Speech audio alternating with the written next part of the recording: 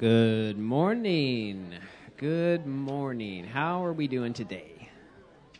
Doing well. I got some thumbs up, some of these. Good morning. Welcome to Calvary Chapel, Roseville. If you're still up and about, find your seats. It'd be a good time. So, if this is your first time, we are glad you're here. Stick around. We'd like to get to know you a little bit. Let's get through some of these announcements. Let's see. First of all, we had a youth dessert auction on Friday night. Thank you for all who attended. We had a lovely time, and the youth uh, gained over $600 in their account. So that's great for upcoming winter camps, et cetera, et cetera. So Thank you for that. So, we have Bible studies throughout the week. Uh, so, if you are not involved in one, it's not too late to jump in with both feet. Women, you are in the book of Exodus, so you're studying Exodus, and that's on Thursdays still, I believe. Uh, we have we just finished our men's retreat. Uh, retreat. How do we say that? Men's Bible study in Revelation. So to this upcoming Tuesday, that's two days from now, there is a what do they have it called here? A missions movie, missions movie and munchies night. That's it. It's quite a mouthful. So men, if you uh, uh, want to come join us, that would be great. Movies, uh, movie, munchie, and missions. Okay, anyways, you get the point. So that is this Tuesday. Uh, the Bible bus will not be meeting because you guys are going to the Reunion Gospel Mission to serve there. So that's on Wednesdays. Uh, let's see. So we do not know where we'll be going next in Bible study yet, right? So we'll see. Stay tuned for that. Uh, Operation Christmas Child. The large pyramid back there has dwindled now to more of a ziggurat, so that's a good thing. Uh, you can take a few more if you want on your way out. Uh, for Operation Christmas Child, obviously. The due date is November 19th, which is less than a month now. Donations with it, $9 to cover it for shipping and handling, but if you can't afford the 9 bucks, don't worry about it. Just fill it and bring it, okay? Uh, let's see. We have a need still of Sunday school teachers, uh, class helpers needed, one Sunday a month. If you can do that, contact Angela. Uh, let's see, projection and sound service needed. Contact Mary Ann if you want to help out. Training provided on the job, and it's free, doesn't cost you anything. Uh, volunteer learning projection part, we have that person, but we still need a volunteer to learn the sound system. It says it is not hard, but important. My wife disagrees. It is hard, but don't let don't let that uh, change your heart. If you can help out, that would be great. Yes. See. It's not hard. It just isn't. Okay, so we have also need for ushers and greeters as well. So if you want to do that, contact Randy, although he's still on vacation, I believe. Don't contact him right now. Oh, never mind. Wrong Randy. Yeah. Sorry, wrong Randy. Contact him if you want to help out there. So uh, let's see here. I think that is about it. If we can have the ushers come forward for this morning's offering. Also, a great time to silence your cell phone or electrical device. Heavenly Father, we thank you for this day. We thank you for the breath in our lungs and the song in our hearts, Lord. We thank you that we can gather in your name to learn more about you and what you have done for us and what you have planned for us. Bless these tithes and offering. Use them for your glory in Jesus' name. Amen. Amen. This morning we're blessed, are we not? Amen. Thank you, Lord, for all your blessings. And thank you, Lord, for your word. We're continuing in our reading of Ecclesiastes chapter 11, verse 1. Cast your bread upon the waters, for you will find it after many days. Give a serving to seven and also to eight, for you do not know what evil will be on the earth. If the clouds are full of rain, they empty themselves upon the earth. And if a tree falls to the south or the north, in the place where the tree falls, there it shall lie. He who observes the wind will not sow, and he who regrets the clouds will not reap. As you do not know what is the way of the wind, or how the bones grow in the womb of her who is with child, so you do not know the works of God who makes everything. In the morning, sow your seed, and in the evening, do not withhold your hand. For you do not know which will prosper, either this or that, or whether both alike will be good. Truly, the light is sweet, and it is pleasant for the eyes to behold the sun. But if a man lives many years and rejoices in them all, Yet let him remember the days of darkness, for they will be many. All that is coming is vanity. Rejoice, O young man, in your youth, and let your heart cheer you in the days of your youth. Walk in the ways of your heart and in the sight of your eyes, but know that for all these God will bring you into judgment. Therefore, remove sorrow from your heart and put away evil from your flesh, for childhood and youth are vanity. Praise the Lord, He calls us to grow in Him. Amen. To become mature in the Word and to know that everything that we do in this life is vanity, other than the things that we do to store up treasures in heaven. Let's be people of the Word. Amen. Thank you, Jesus.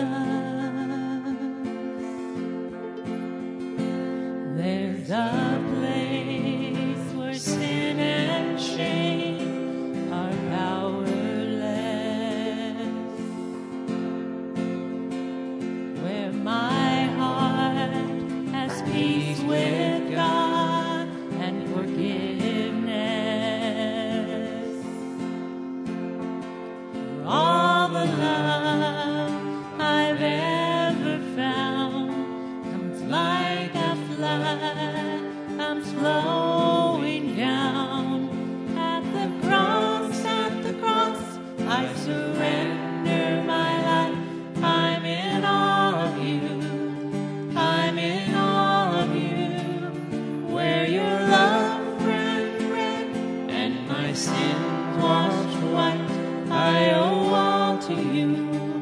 I owe all to you. Here my hope is found.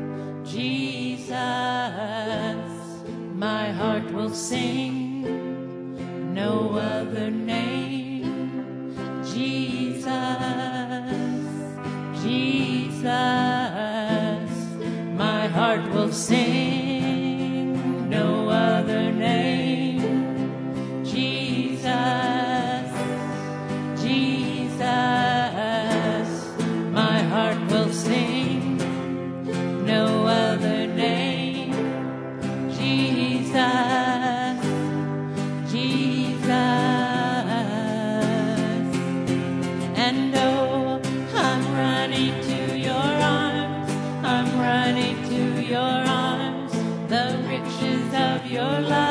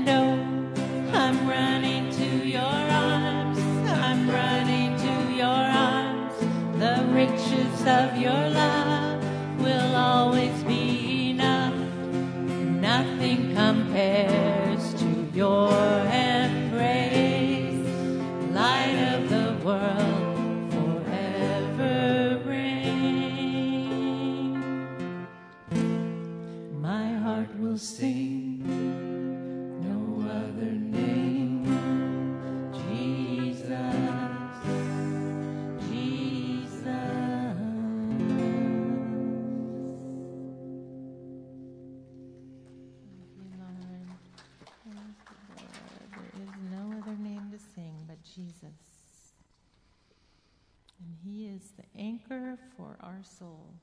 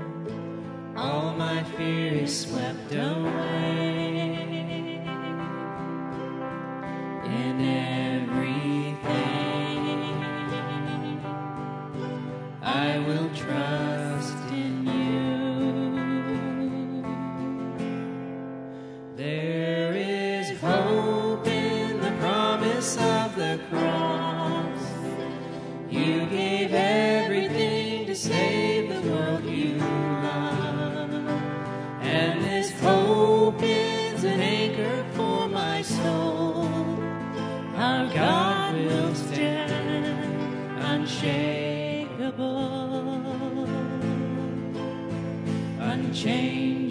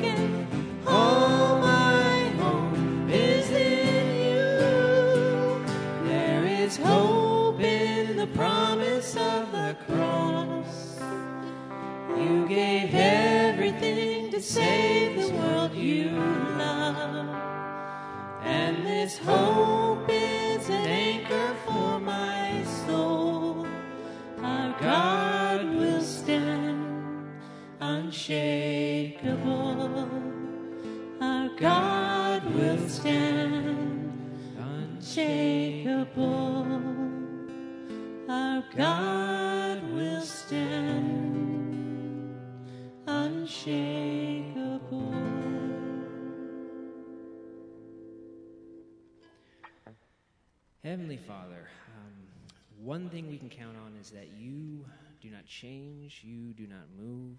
Uh, the world is rocking and rolling, and we often feel we are lost at sea. But you indeed are our anchor, and we thank you and praise you for this. Focus our hearts and minds now on your word in Jesus' name. Amen.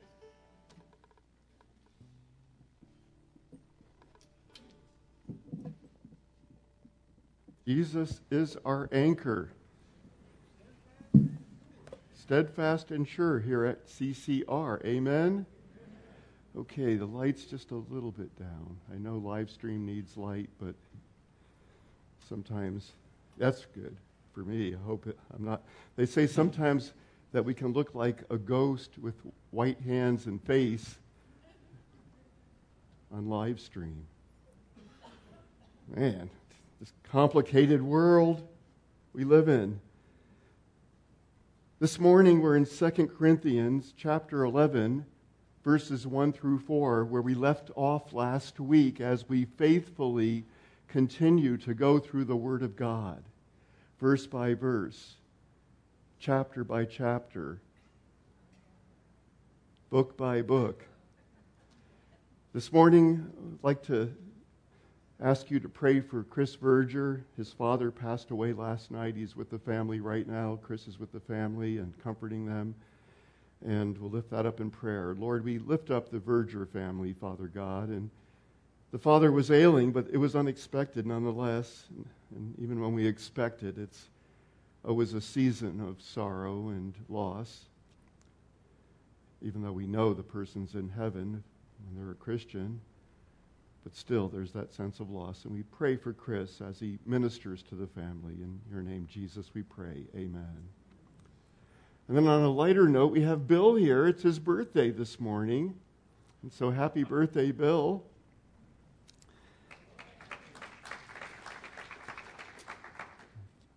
Cindy, his wife, let me in on the secret. Thank you, Cindy. All right, people. Phil back there, Phil Clark, sitting here at 10 to 10, and says, What's going on? Is the service in the cafe? There's more people in the cafe right now chatting than there are out here. And I said, No, Phil. It's tardiness, it's being late. And we really have like gone the extreme where it's like at 10 after people are still coming in. Now, I'm talking to Dan Gillen about it this morning, and he said, Yeah, but then You know, you do talk a lot about tardiness, and then what happens is there are those who don't want to come because they know they're going to be late, and they say, Oh, no, we don't want to upset Pastor Ken. No, I'm not upset if you come in late. It's just that we want to be people who are on time, or at least close to being on time. Now, you see, some people say, Well, I come to church on Sunday morning and I really don't get that much out of it. You know, I can just watch on live stream. And we have a whole group out there watching on live stream. Now, now Della's out there. Hi, Della. And I'm not saying that, or, that you should be able to make it here when you can't drive, you can't see, and all these different things. And we're glad to provide that. But there is a thing about you know, being on time for Sunday. And when people say, well, I, I don't, you know, get a lot out of coming and, and, well, you don't get a lot out of fellowshipping with the brethren? You don't get a lot out of live worship? Or being able to, to look me in the eye, so to speak? Well, you see, there's reasons. One reason is our culture and our lifestyle. I will give you that. Now, if you're rushing around all day Saturday trying to pack three days into one, well, guess what? You're probably going to be frazzled when it comes to, to Sunday morning. If you're going to bed at midnight or 1 in the morning or even 11 o'clock at night, well, guess what? You're probably not going to be so sharp on Sunday morning. Amen? And so think about these things. Sunday's important, very important in the life of the believer. And if you make it so frantic on Sunday morning because you're way behind in time and you're rushing around, you're trying to get here, and then there's that turtle in front of you while you're driving, and next thing you know, there's some road work or something, and you get stressed out, and you get here, and then you know your, your mind isn't clear, your soul isn't prepared, your spirit isn't calm, and we want that to be. You know, do things like on Saturday, pray about who may be here on Sunday morning who you can minister to. Whoa, not just come, oh, uh, you know, I fellowship. Well, come thinking of who you might minister to. Amen? Uh, with your family on Saturday, pray about the offering that you're going to bring. Pray together about it. Make it special. The offering of your tithe, the offering of your life, of your obedience coming and fellowshipping with the brethren, not forsaking the gathering of the brethren. Amen? All these things. Decide what you're going to wear, gals, on Saturday, not on Sunday morning. You know, don't have a pile of clothes on the bed. You know, you try one thing on ah, that, you throw it. And, and guys, we can be the same. You know, we, we, we, what am I going to wear? Oh, no, that doesn't look good. And next thing you know, you know, the time's getting shorter and shorter for 10 o'clock. And you're getting more and more stressed. Leave early for church. Church is where you get refueled, refreshed. You get a rush of faith. Where else do you get it? We live in troubling times in case there's someone here who's been having their head like an ostrich in the sand or a turtle where you pulled in all your legs and your head and tail. You know, these are troubling times. A hundred miles from here in Santa Rosa, there are people who have had their lives literally burned up and they have not recovered. There's many homes that were lost. There's over 6,000 homes, I believe, and people trying to, to find places. They're coming here to rent apartments to try to find a place to live. They're living in tents in Santa Rosa still.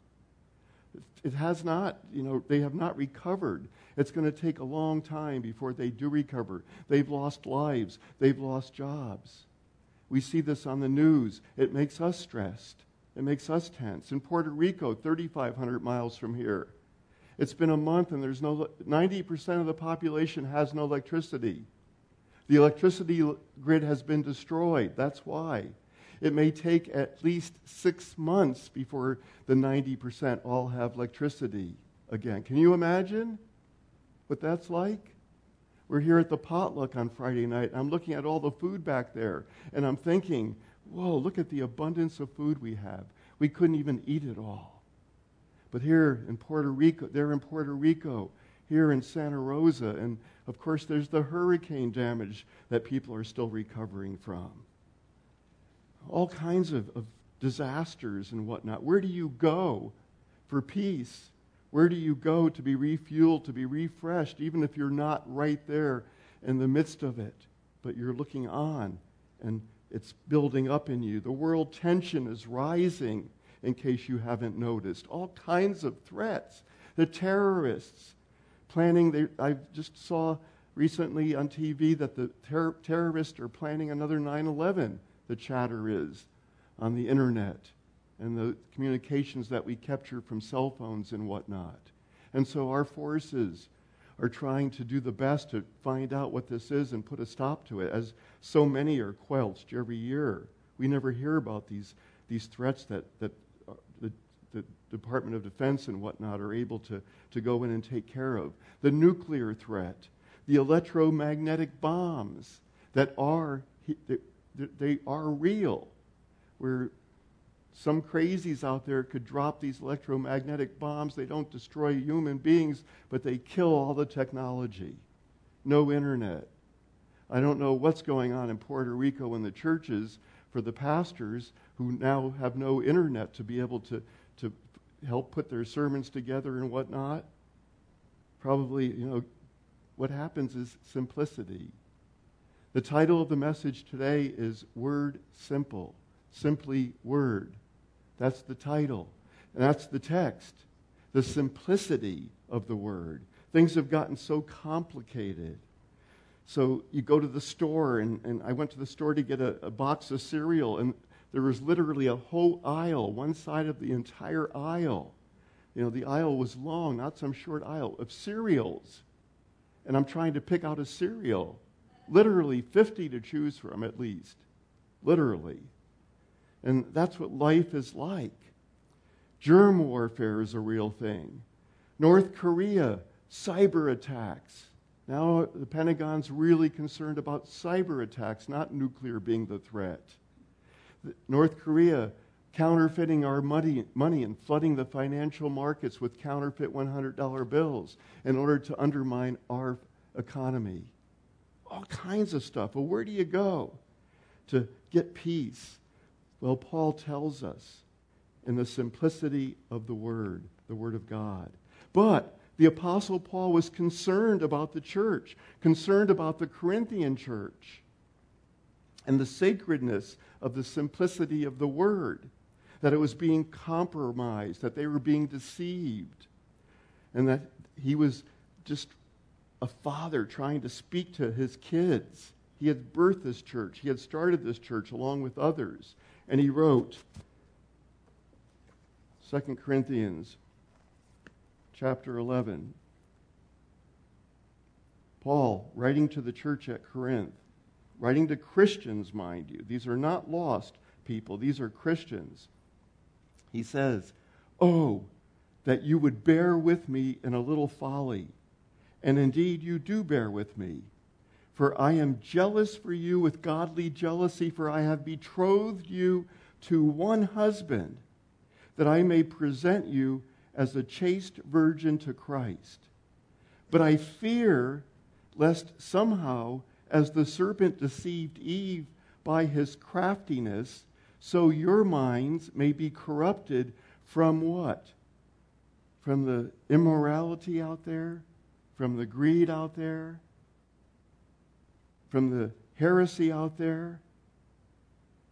But I fear lest somehow, as the serpent, the devil, deceived Eve by his craftiness, and the devil indeed is crafty, so your minds may be corrupted from the simplicity that is in Christ.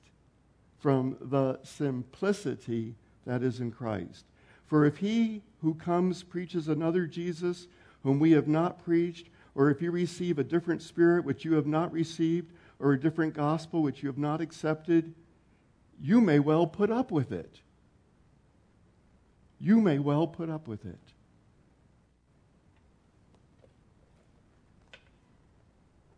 Simplicity simplicity that's in Christ. Now, in a nutshell, Paul's greatest fear was that the Christians at Corinth and in other churches would be deceived into falling for something other than the simplicity of the gospel of Christ. Simplicity is a key word in this passage. You see, faith is simple, people. It was never meant to be complicated. Amen? And what happened was God sent down the Word of God, sent down Jesus, but He also sent the written Word to us, the living written Word. And He sent it to men, and those men recounted it, and they wrote it down for us throughout the ages. The simple Word. In Luke chapter 4, verse 4, it is written, Man shall not live by bread alone, but by every word of God. Well, where do we get the word of God? We get it from the Bible. Amen?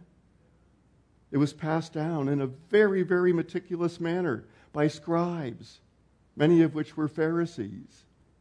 But not all Pharisees were scribes. The scribes took great pains to make sure of the accuracy of their work as they transcribed, guardians of the Word. Old Testament, New Testament, same message. We are sinners, one and all, in need of a Savior. One Savior, Christ, who died for our sins, rose again, and will return. That is the message. Died on the cross for our sins. Paul was a New Testament guardian of the message, of the word. And when, when it came to the churches that he had authority over, it got to be very personal with Paul. He cared about each and every one of them. He cared about them collectively. It was very personal. In 1 Corinthians 4:15, chapter 4 verse 15, Paul had told the Corinthians, You have 10,000 instructors. And the Greek teachers, teachers were a dime a dozen, but not many fathers. You see, Paul was not only a guardian of the word, but he was called to guard the people of God. He was called to be their shepherd. Now, this, of course, at Corinth was in dispute. A great part of the book a great part of these letters that he writes to the Corinthians are because they're disputing his authority, disputing his calling, con- disputing whether the guy is even saved or not. We looked at that last week. Those who said, You're not of Christ. He's not of Christ.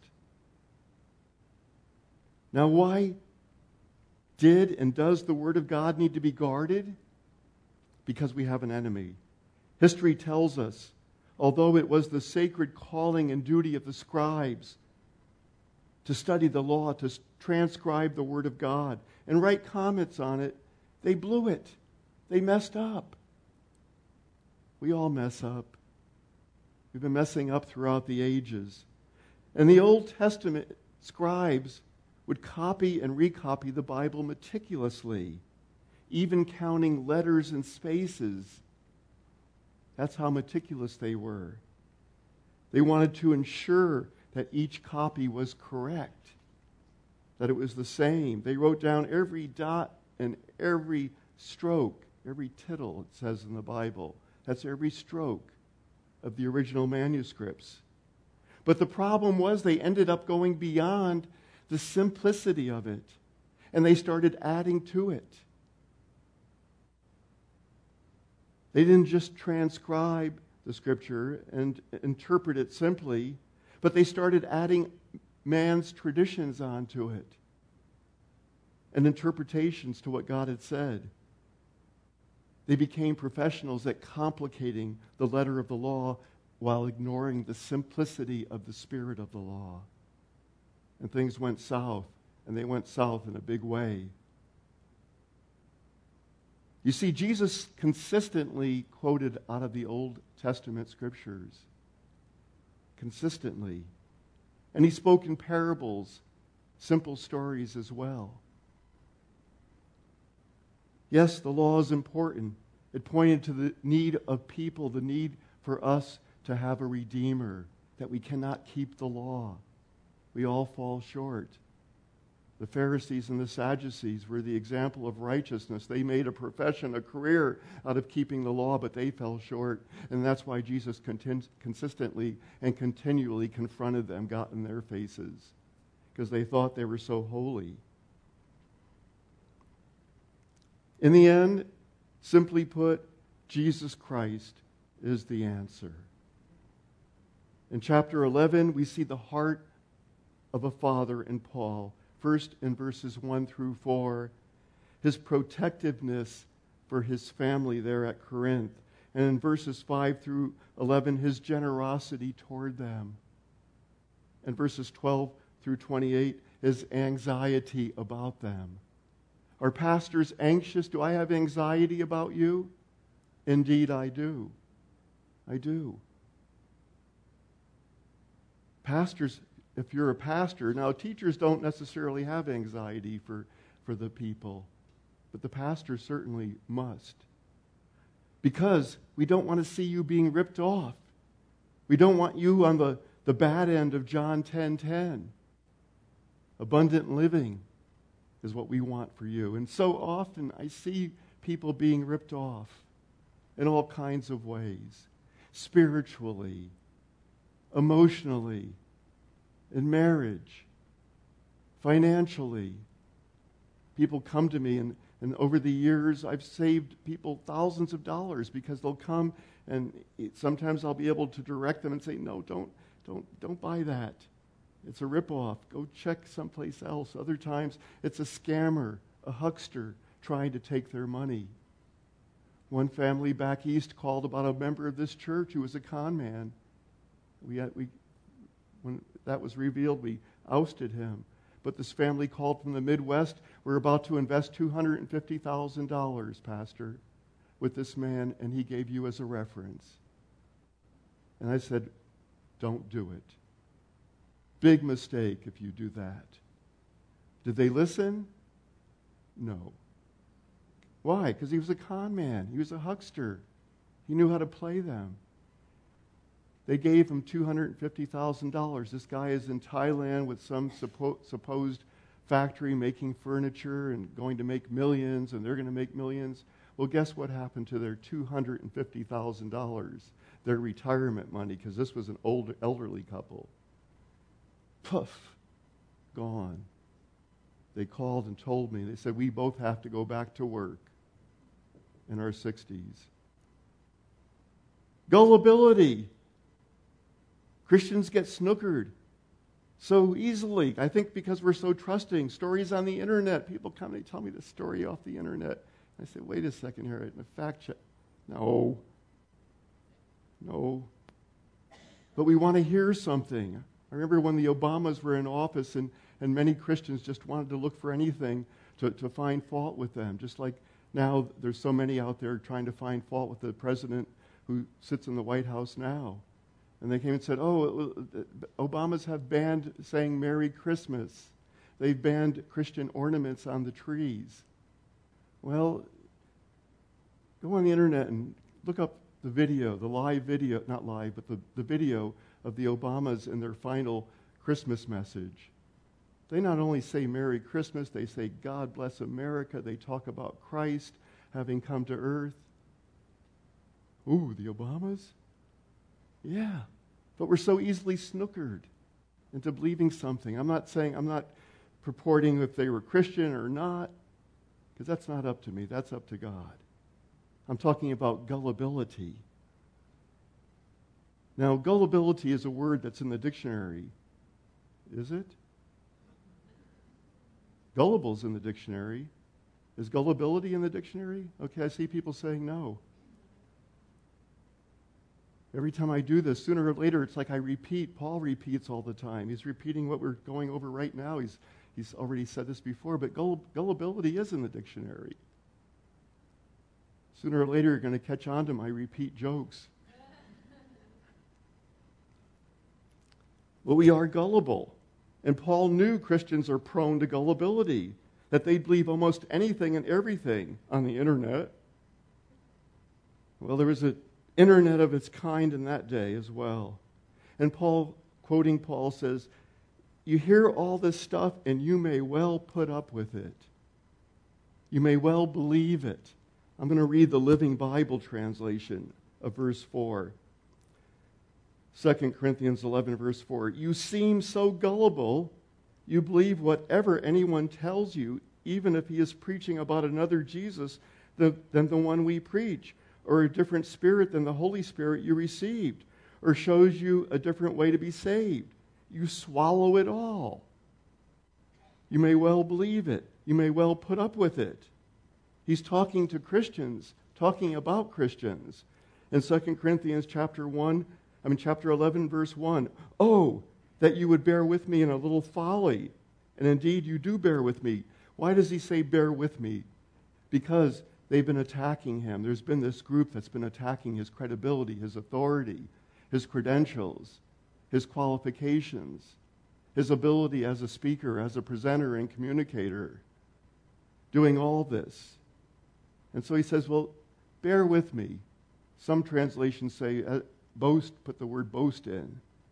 And he says, Indeed, you do bear with me. Now, I don't know what, if that's because Paul makes sure that they bear with him, doesn't give them much choice.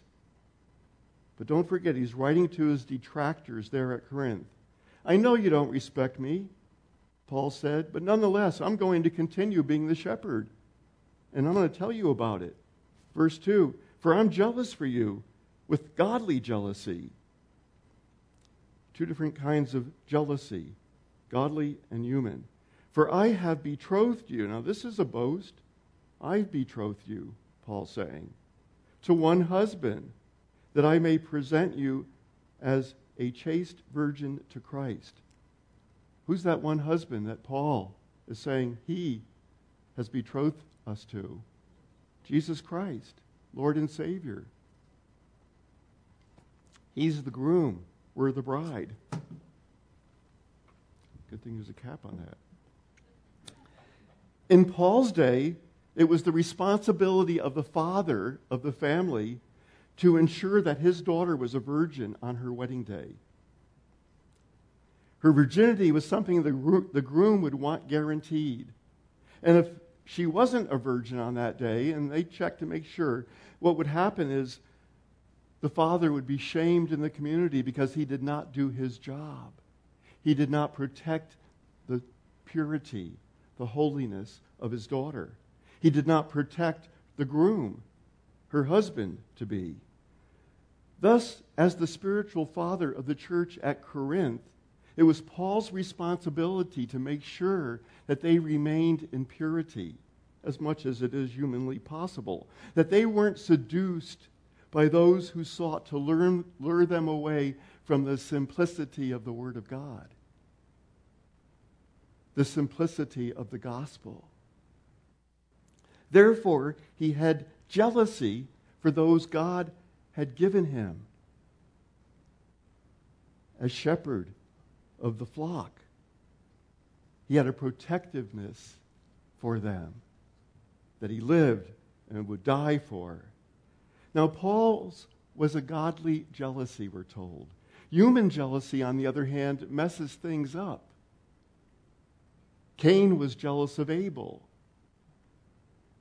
He was jealous that God accepted his brother's sacrifice and he killed his brother. That was the result of his jealousy. Sarah, jealous over Hagar because she had Ishmael, and that caused a monumental mess. Joseph's brothers were jealous because the father had given Joseph a multi multicolored coat. And he was the father's favorite. So they tried to do away with him.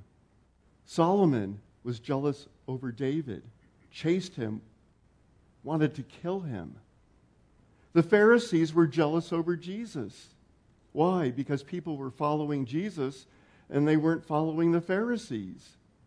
And so the Pharisees tried to do Jesus in, and the result? The cross. Human jealousy is mingled with envy, selfishness, and, and many other things that aren't good. Now, Paul is pushing all that aside, And he's saying, This is my jealousy for God regarding this church. That's what I'm saying. I'm standing in this place as a father, having betrothed you to one husband, that I may present you as a virgin bride. Knowing I've done my job. Well done, good and faithful servant. He wanted to put them right alongside of Jesus, the groom, on that wedding feast day in heaven. Spotless and blemish free. Why? Because he had hammered them so much about their sin? Because he had given them so many tips on how to break bad habits? No, because of the simplicity of the cross, the simplicity of the message. They were saved, they were spotless, they were blemish, blemish free because they repented of their sin because Jesus died on the cross. Jesus resurrected and Jesus will return.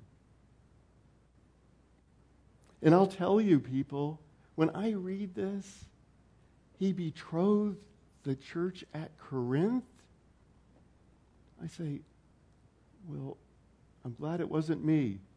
I'm glad for those Corinthians because Corinth would probably be the very last church I would have betro- thought of betrothing to, to God. Because I'd choose Philippi, probably, not Corinth with all their messes and problems and attacks and whatnot, but Corinth. And that's a reminder. Now, a reminder to us that no matter what we've done in the past, who we've been, and even who we are now, God loves us. The simplicity is God loves us. Our sins are forgiven because Jesus died on the cross for our sins. We'll go to heaven. He'll return back to earth and set it all straight. And that's the gospel. Now, that was a different culture back then. Back then, like, it was different. Our culture is where, you know, you get the ring, you get the engagement ring. And maybe you keep it, maybe you end up giving it back. But in that culture, it didn't work that way. In that culture, the father chose by prearranged marriage who you were going to marry when you were a child, when you were both children, the bride and the groom. And then you grew up into adults and you got married. And then sometimes you said, Dad, man, you're the smartest guy on earth. You are so good. And you just picked the perfect one for me.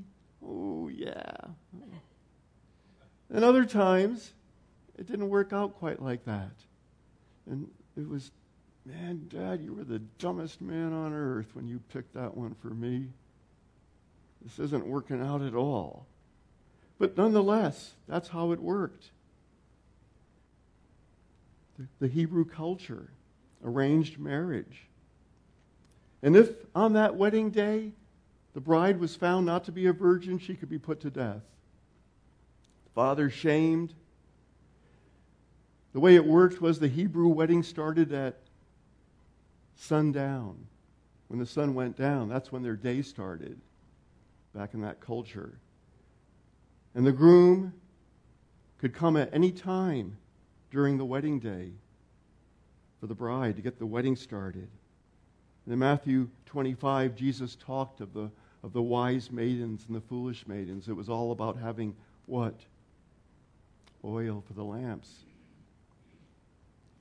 Because as soon as the sun went down, usually the groom would go looking for his betrothed. And he'd need to be able to see them. And so if they had the lantern, they, they could be seen. He'd been waiting a year and was anxious to get this done. And as soon as the sun went down, the day started. Now, in our culture, it's the opposite. And many things are the opposite in our culture. In our culture, it's when the sun comes up that our day starts. Amen? And then they would blow a trumpet to let everyone know the groom's coming. Here comes the groom. And those at the wedding party, they had to have oil for the lamps. They'd all be gathered at the bride's father's house. And at the father's house, the groom had built an addition on. At his father's house, he had built an addition on to the house. Actually, I think they were gathered at the, at the groom's father's house. And they, he had built an addition on for them to live in that room, a bedroom basically. And if you didn't like your mother in law, well, too bad for you. That's, you got what you got. And Jesus said to us in John 14, 3, And if I go and prepare a place for you, I will come again and receive you to myself, that where I am, there you may be also. And where I go, you know, and the way you know. The way is the imagery, imagery here. With the bride, when the bride was taken to the father's house, the feast would start. That's when it would start and go on for seven days. The groom would take the bride to that chamber. Everyone knew what was going on. The marriage was being consummated. She'd put a veil on his shoulder.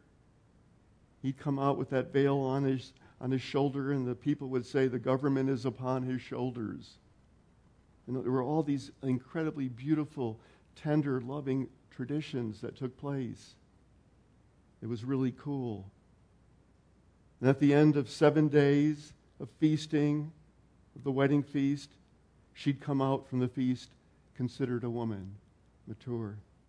Now Jesus said, Behold, I go and prepare a place for you. And he's going to hide us away for seven years during the tribulation. And then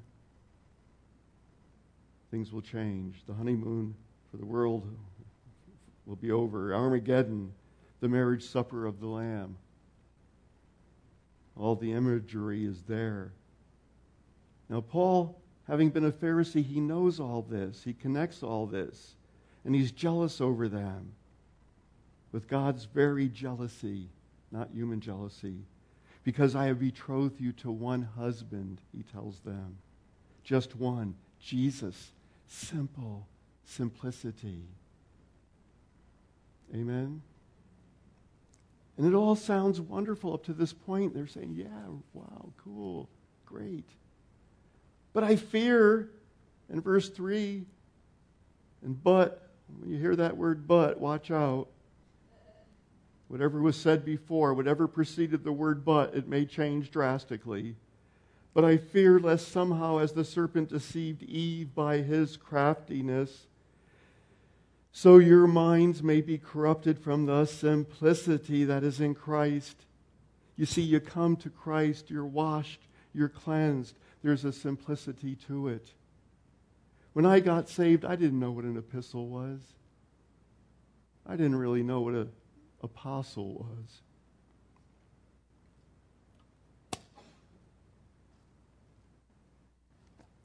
I didn't know the songs, the worship songs. In fact, I didn't even have the ability to sing a song. When I would sing New Year's Eve with everyone, Auld Lang Syne, man, eh, the people would move away from me because I was so off key. Back before I became a Christian, I was in, uninhibited because I'd been drinking so much. And I'd sing loud. And it was so bad.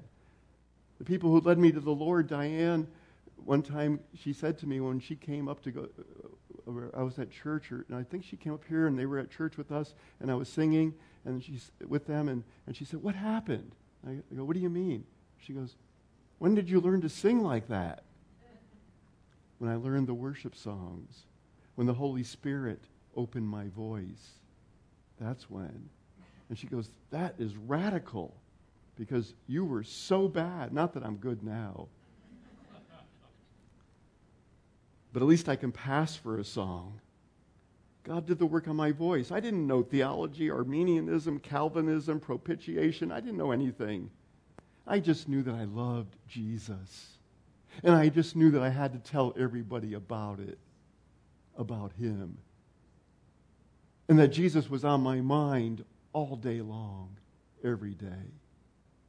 Christmas time came, and I sent my Catholic brother in law a, a, a scripture mug. He felt like he had gotten mugged. He tells the family that was an inappropriate Christmas gift for him to send me, pushing his religion on, on me. Well, guy, you know, you're a Catholic, but you don't believe in the scriptures? The mug just had scriptures on it. But I, sure, I needed to grow. I needed to learn. I needed to mature. I needed to grow up. Sure. But my mind wasn't distracted from the simplicity in Christ. In this day and age, so many houses of worship have lost the simplicity. So many. We were up at the men's retreat, and some, we, we have cabin time with the pastors, and we talk. And a couple of the pastors said that the way they were talking about the volume for worship, and a couple of them said, Well, you know how we do it? When it's louder than the congregation, we turn it down. That's how we do it. So different than the way it's being done today in churches. Today, the congregation is being ignored as far as how loud they are. It's this giant show with really loud. I remember in Jack Hayford's church down in Southern Cal, and they're tongue speakers. And I remember going to that church one Sunday and not really knowing much about the gift of tongues or anything, and like a thousand people. And during the worship, all of a sudden they break out into t- singing tongues. And it was the sweetest, most heavenly sound I've ever heard. It was incredible. It was awesome. The congregation worshiping. It's not the congregation come and listen. It's the congregation come and worship. Sermons have left the simplicity. Prayer. And so many of the Father's houses of worship across this great land, it's turned into entertainment and a show. It's become how complicated can we make it? How many lights and how much smoke during worship do you have? Oh, we've only got seven different colors. Oh, we've got 15. We've got two smoke machines. Oh, we've got five. I mean, I hear this stuff. Oh, Jesus, how far have so many churches strayed from that? And, and we, it's not that we don't encourage the congregation to lis- listen. Yeah, I get it. It's a new age, technology and all that. But let's just pray that doesn't mean the new age is deceiving the church, that we lose the simplicity of it. Our prayer should be Jesus, forgive me if I've been corrupted from the simplicity of you, of your word in my life. Am I more excited about the events at church or the programs that I might study than just sitting with you, loving on you, being in love with you, being cleansed by you, like in those early days. Now, of course, there are people who don't even know what the church was like 30 years ago.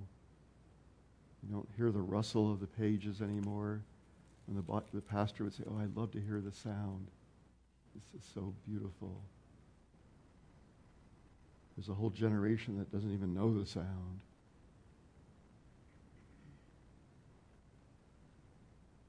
Oh, Lord. Paul is saying the serpent corrupted Eve by confusing her, complicating what God had said. Verse 3 How was Eve seduced? Not by being offered a sip. No, it wasn't the demon alcohol, the distilled spirit in the bottle that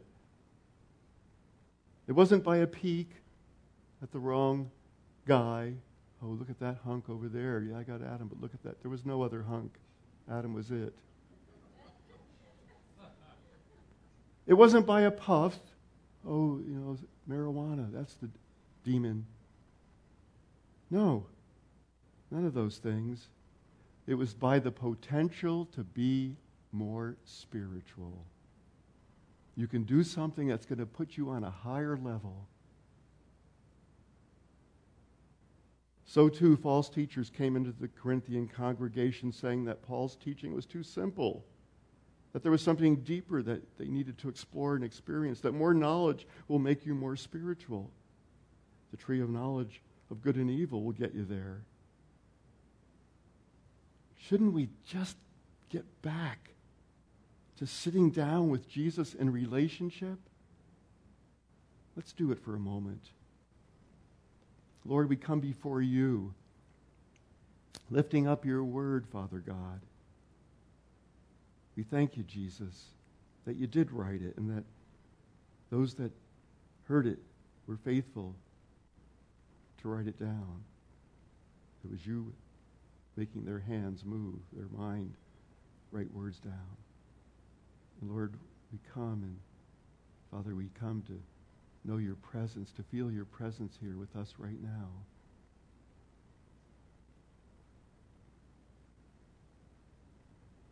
Lord, I thank you that when we seek you out like this, that we come so close to you. We're right alongside of you, the chaste bride, chaste bride, clean, cleansed, holy, spotless in your righteousness. You're the river overflowing all over us, cleansing us. We thank you, Lord. Bring that joy into our hearts, Almighty God. Just being in your presence, like when when we were the courting our our spouse and just sitting there on a bench in a park, hugging each other was enough. We didn't have to get into a big dialogue or anything. We could just love on each other. Lord, let us love on you each day. Thank you, Jesus, that we can. Heal us, Lord. Cleanse us, fix us. Bring us to that simplicity.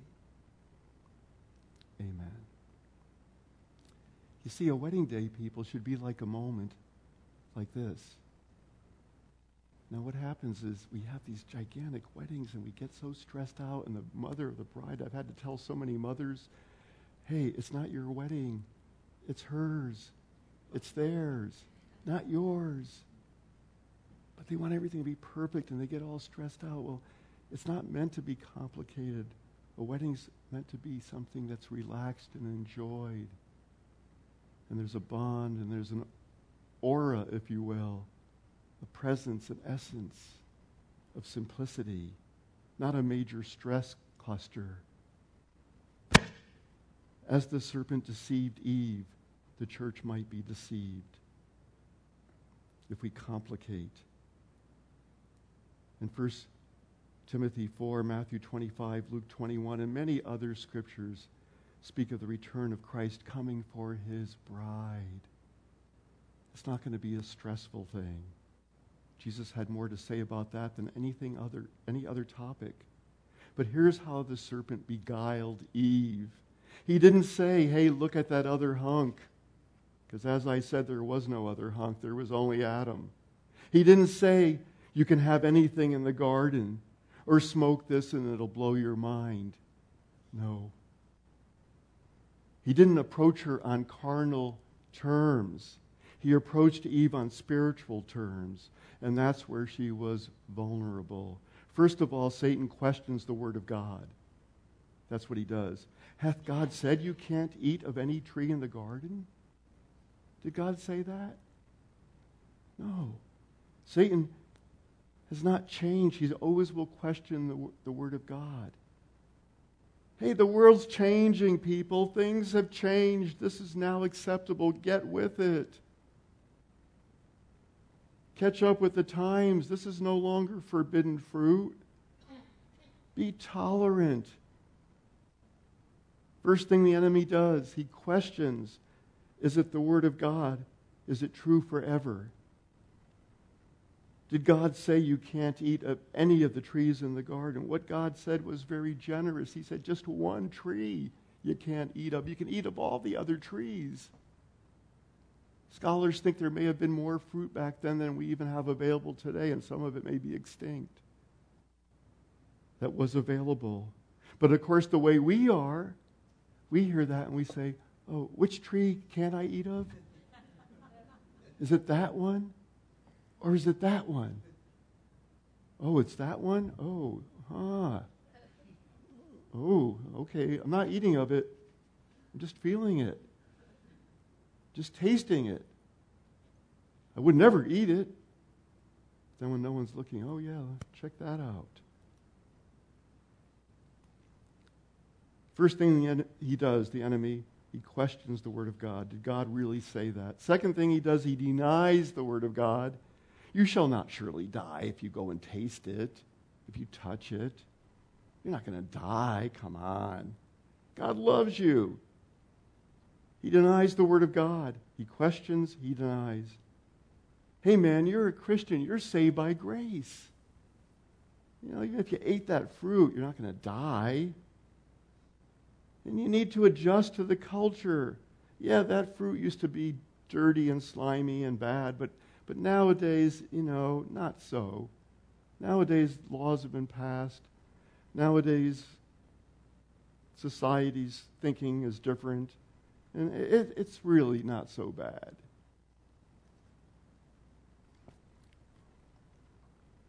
You can have more. God wants you to have everything, don't, doesn't He? Well, the enemy's not changed.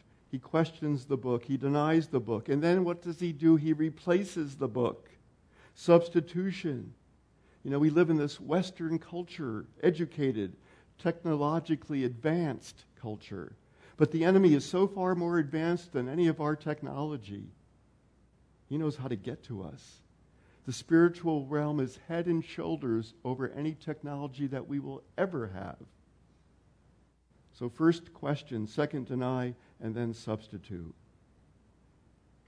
Paul tells the Corinthians, with God's jealousy, jealous over you, betrothing my daughter to one particular husband, Jesus, and I want to present you as chaste, chaste virgin. And I'm afraid, as Satan deceived Eve, he's going to deceive you.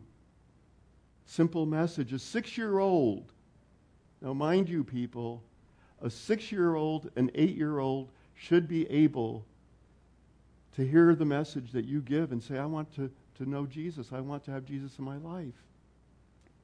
Simplicity. Matthew 19, 14, Jesus said, Suffer the little children who come unto me. The children can come unto him. Jesus loves us. He's died for us on the cross at Calvary. Our grandkids know it, five and six. They know this. They knew it when they were four and five. If we come to Him in faith and we ask for forgiveness for our sins, what's sin, Grandpa? Sin's when you do bad. Oh, okay. Know that. You get punished for sin sometimes, right? Yeah. Well, Jesus comes that you be forgiven. Oh, okay, Grandpa. I get it. And he died on the cross. Oh. But he rose, arose again after three days. Ah. It's simple enough. The Corinthians fell in love with him. They had that simplicity of that love. Didn't know what an epistle was, didn't know what an apostle was, didn't know any of that stuff. Never mind propitiation or any of that stuff.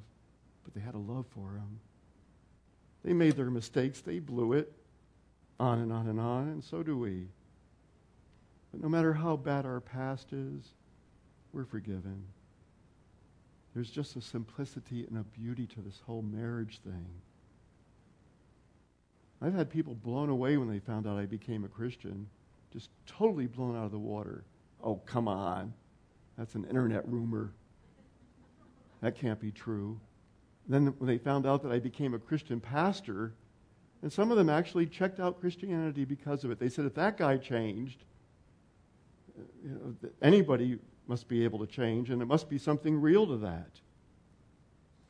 My relatives, my Catholic parents, accepted evangelical Christianity because not because of my argument with them when i argued it didn't work but because of the longevity of my walk and they saw they said at first oh he's just this is like when he went to india for three months and met the dalai lama and did the guru thing and meditation up in the himalayas and all that it's just one of those passing phases but then when they saw change in my life and that year after year it held they accepted that evangelical Christianity is Christianity.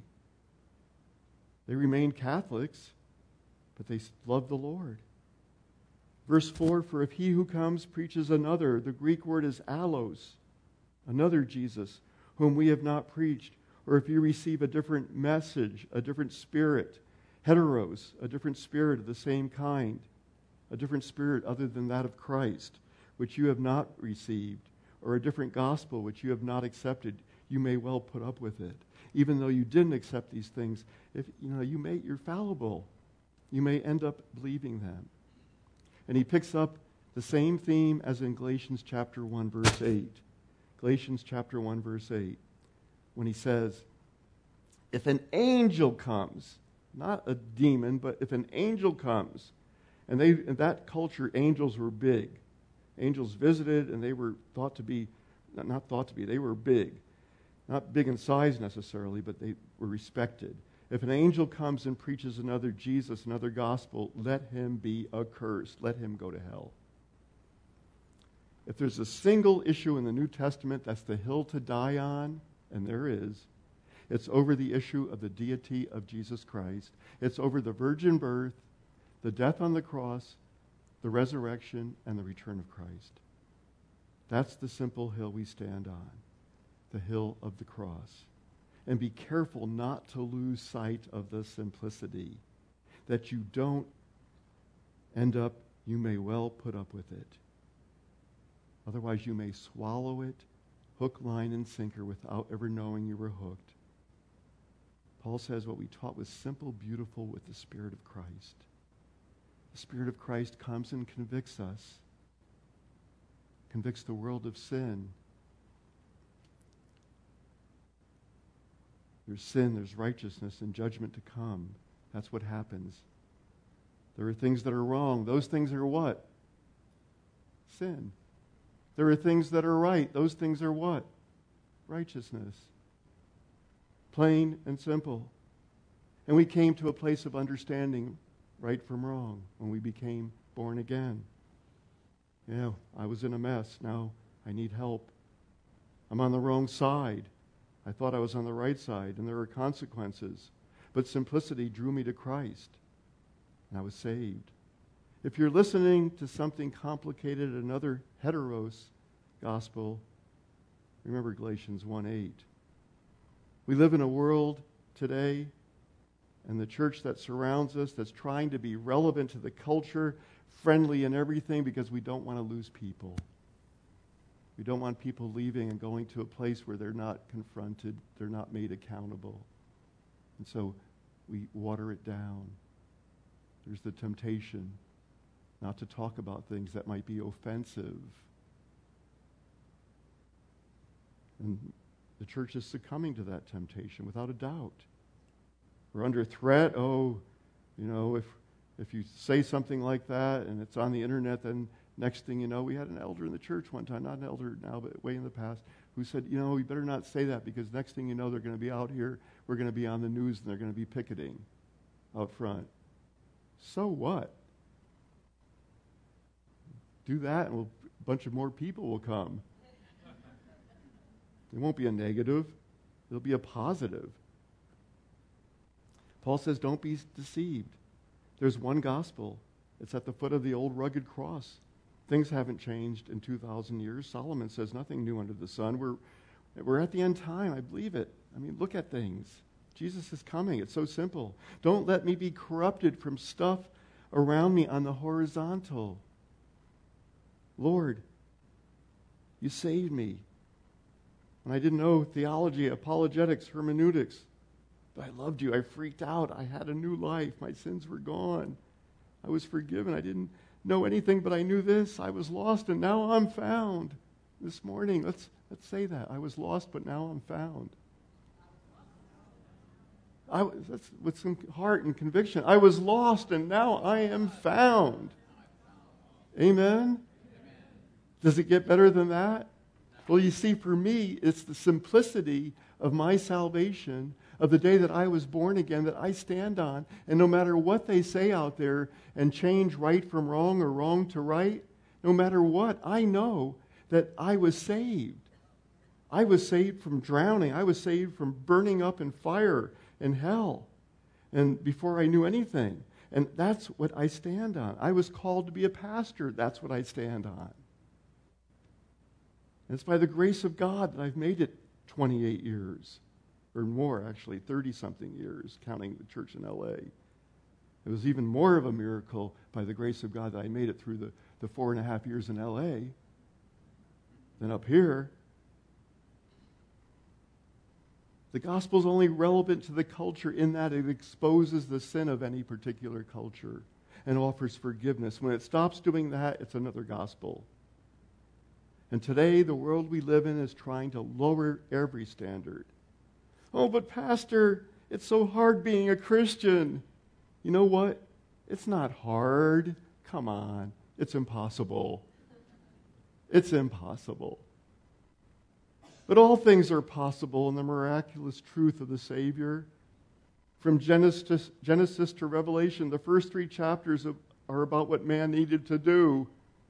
By the third chapter, it was all messed up. It was a disaster. It was hopeless. And from then on, the Bible's about God fixing it. And ever since, He's still been fixing it. But don't let them deny, don't let them question, deny, replace. And I think personally it's all going to come around, to be honest. I was having a conversation with Ann Hannish yesterday, and it's all going to come around. All this complicated and whatnot, all this show and smoke and mirrors and, and, and lights and all that, entertainment and everything. What, it's going to all come around. Like as I, I bet in Puerto Rico right now, it's already come around take the electricity away. And they're getting down to, to this. There's no projection, there's no amplification. You're going to hear the congregation because there aren't as many people up here as there are down there. But it's going to come down to this.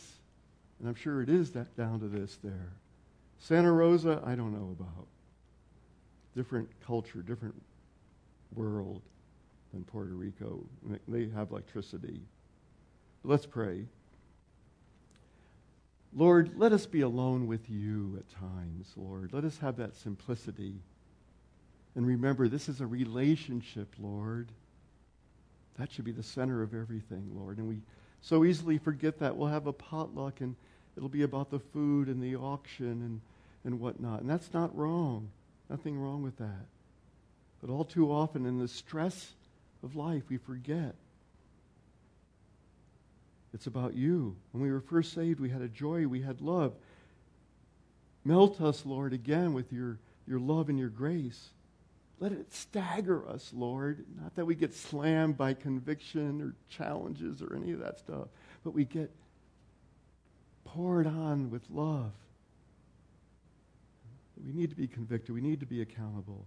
But first and foremost, we need to stagger because our knees bend, our hearts break, our tears flow because we're with you in your presence. Renew us, Lord, in these last days. Renew us, Jesus. Restore us. Refresh us, Jesus. Let us not forget each day when we're struggling, when we're going through, when the Verger family is going through the season of the loss of the father. I'm sure Chris is going to bring the simplicity of the Word of God as the comfort. And Lord, with this world scene, when people talk to us and people say, oh, this is happening, that's happening. Yeah, well, Bible says so. Yeah, perfect time for Jesus to return. What's that about? Oh, it's about Jesus who long ago predicted all this, prophesied all this. The prophets did also throughout the Word of God. We see it. Really? Yeah. Let me show you. Lord, we come and we thank you that you showed us this morning, Lord, that we can just have that wedding moment, that wedding day, each day of the week. We thank you in your name, Jesus, Lord, for this relationship, Lord. And Father God, let us see the sign of we need signs. We're a generation that looks for something, and it's good to have. And up at the retreat when we were baptizing men in the Holy Spirit, and Father, the, the, the men came up and, and the, I was just doing what I do, what, it, what I was asked to do up there as a pastor. And Father God, all of a sudden my body just went le- electric, my entire body. And I was really concerned. I was hanging on to the guys because I thought I might fall down.